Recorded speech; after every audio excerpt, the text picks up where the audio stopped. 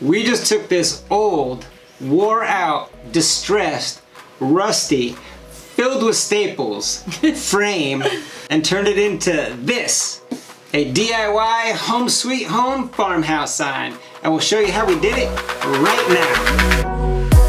What is up? A welcome back. Do you like to do it, build it, or make it? So do we. And we have a new video each week. This week, we're getting into a little bit of reuse, recycle, repurpose. One of our Make It fam folks from the farmer's market came by and was purchasing a sign and it was like, oh, I have this frame. This frame, you should really use this frame. You guys are gonna love it. I don't have anything to do with it. I have nothing to do with it. You guys should come by and get it. You should really use it. I know you could do something cool with it. So then we got this frame and it is rough looking. I didn't realize how rough looking this frame was gonna be. It's got some staples on the outside. Yeah. It's got some fencing stapled to the backside and it's got some dirt on it over here where I think it sat outside for a while. But you know what? I The told wood still Garrett. looks good. Yeah, I think we could do something cool with it. So that's our project this week is we're gonna turn this into something fabulous. Step one, we're gonna gather all of our supplies. We needed the frame because that's what we're doing, we're redoing the frame. And then we needed something for the backer, so we found these woodland wall peel and stick wood planks on clearance. So we thought these would be great for the backer. We're gonna just nail them in there. We needed some MDF. We decided to put a saying in there and like an overlay. yeah, you'll see. We're gonna add some um, dimension to the corners. You'll see. I also needed some wood glue and my brad nailer. so we can nail the planks on. And then I'll be using a couple of these country chic paints. We're gonna do a two-tone, we're gonna do a distressing technique. We're gonna, this is the new country chic paint color in Tide Pool. It's a really pretty blue. And then we're gonna put cheesecake over top of it and do a little distressing so you can see the color through it. And then of course, it's a little bit of sandpaper because we gotta do some cleanup on this thing before we get started. Before it starts its makeover. Extreme makeover. Yeah, it is gonna be an extreme makeover. Step two, we're gonna clean up the frame and see what we got. Let's see what we're actually working with. We're gonna remove all of these little staples. So we're gonna use some uh, needle nose, flathead screwdriver. We're gonna remove all these staples around the outside, around the outside. I know two Trailer Park Girls is coming any second. You can have it for me. I think this is gonna be the most tedious part right here is getting all I these. think it is. all these staples out. Oh, not too bad. Oh, yeah, there you go.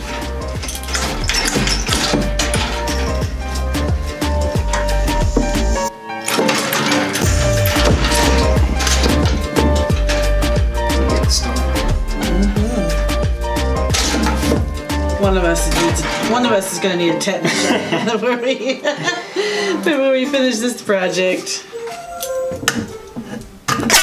Whoa! No way, did it really hit you in the eye? Hit me right here.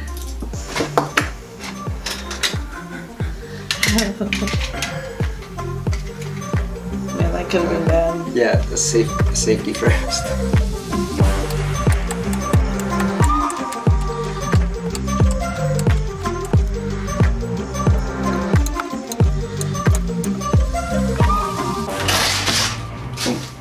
We're gonna give it a quick sand, see what we got underneath. Just mainly to knock the dirt off and that's really it, to knock the dirt off. I don't wanna kinda, I wanna keep some of the raised pieces. All right, well we'll see. I told him we should wash it with some Dawn maybe and some soap and water, but we're gonna start with this and see how far see how it does. Yeah, no, no, no. Watch it. There's a nail or something right there.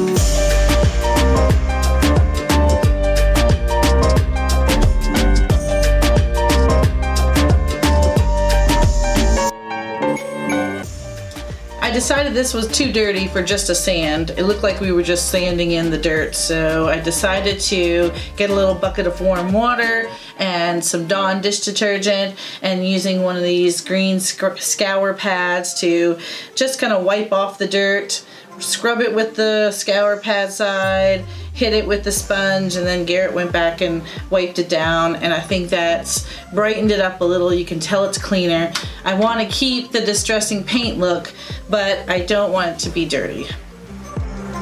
Step three, we're gonna make all of our cuts. I'm just gonna take this quarter inch MDF over to the Glowforge using the thick draft board settings and cut out our words and our little overlay that's gonna go over it.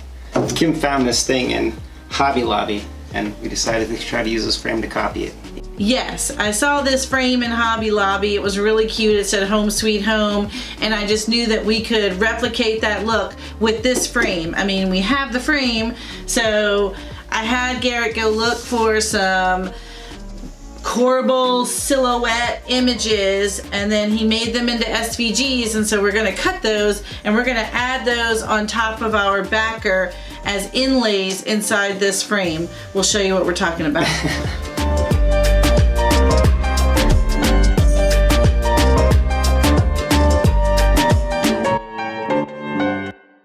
Step four.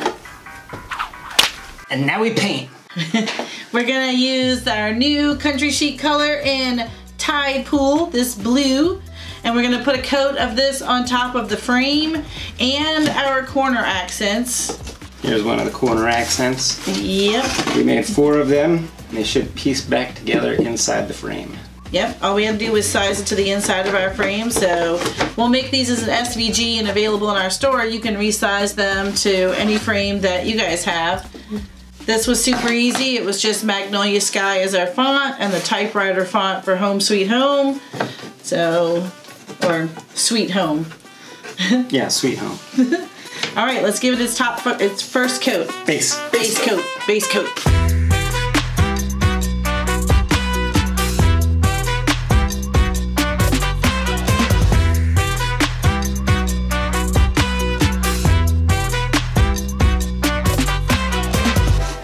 Tide pool is dry. Now it's time to add our cheesecake.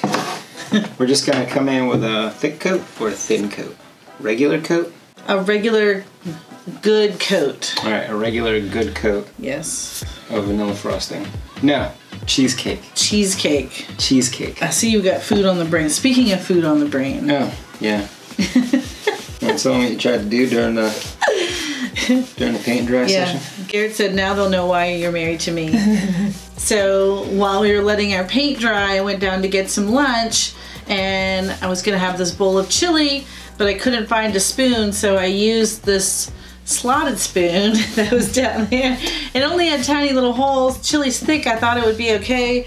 But no, I have chili all over the front of my shirt now. So guess what? Can't oh, you still got that shirt on.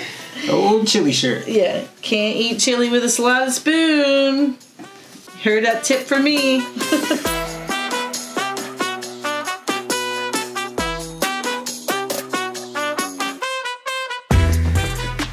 All right, now we're gonna distress it, but we're gonna distress it with rags. No sanding needed. Right, so I was going to share that Garrett stole my thunder here.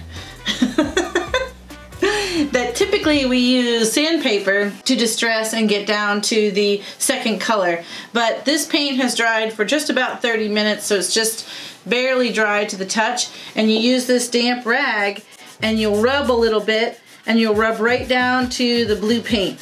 And that way it leaves the blue paint, but you don't sand off the blue paint. Well, I like that a lot better than the sanding. Well, let's see. Let's see how how it does.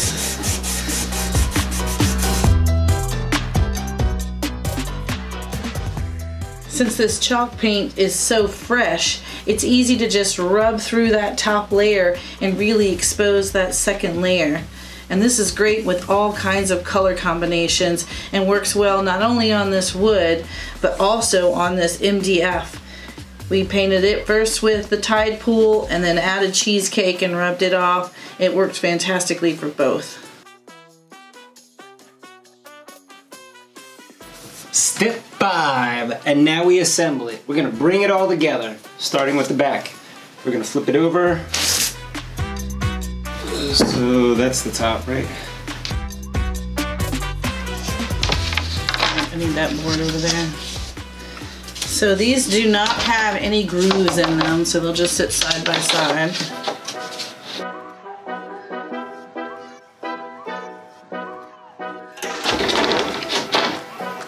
All right, we'll take them off and glue them now.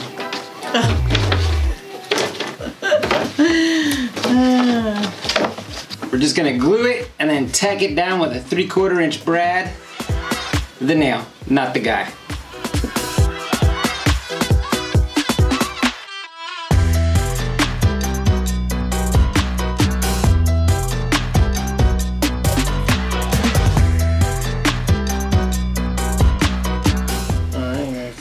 Over? Alright, let's see.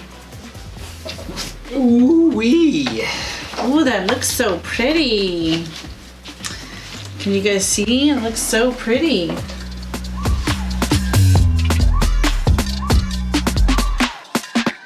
We found this frame isn't quite square.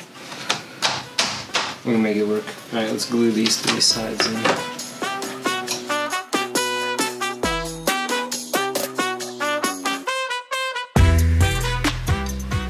Sure you didn't want to sand that first? Yeah, I think I'm gonna sand it now. Well, it's got glue on it. Uh, that's the best time to do it. do it when you glue it.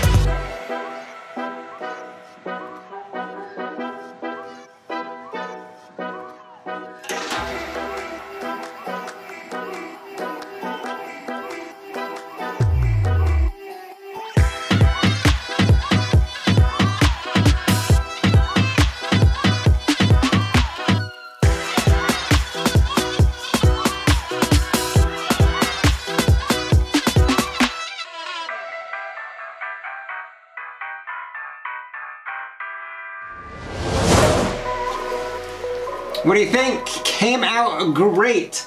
It looks uh, way better than I thought it would.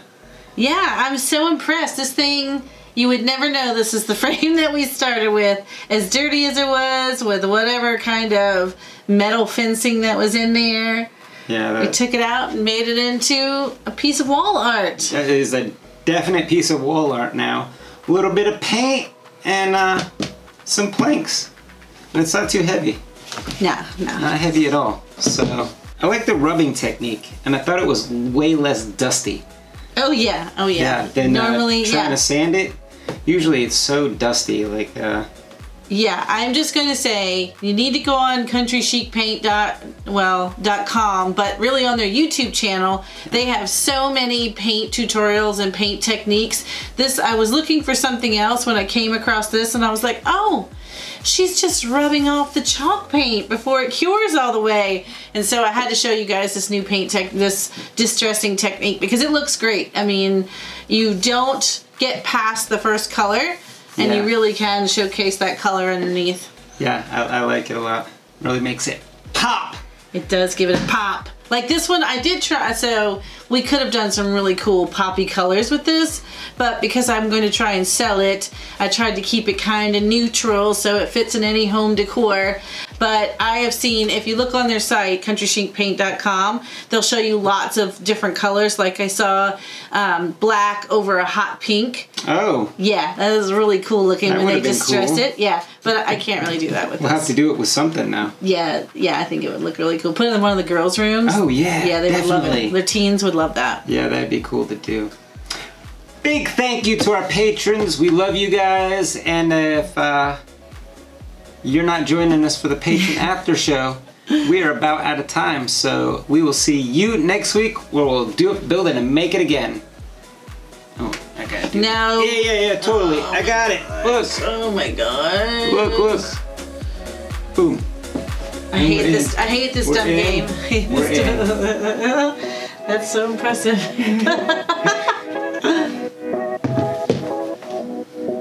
I'm out.